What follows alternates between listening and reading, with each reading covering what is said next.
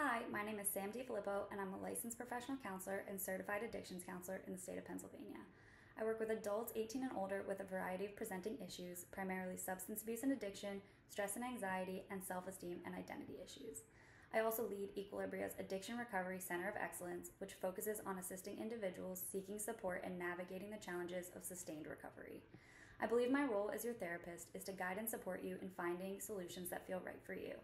While it should go without saying, I approach all my clients without judgment because I know how hard it can be to open up and talk about things that you may have never told anyone else before. I tend to pull from various clinical approaches such as CBT, person centered therapy, and family systems therapy. As an addictions counselor, I view my role as helping you to develop a healthier relationship with substances, whether that be through harm reduction or complete abstinence. Everyone's journey is different, and I would love to help you find a path that works for you. If you're interested in working together or would like more information on our Addiction Recovery Center of Excellence, please feel free to reach out by phone or by clicking the Schedule Now button at the bottom of this page.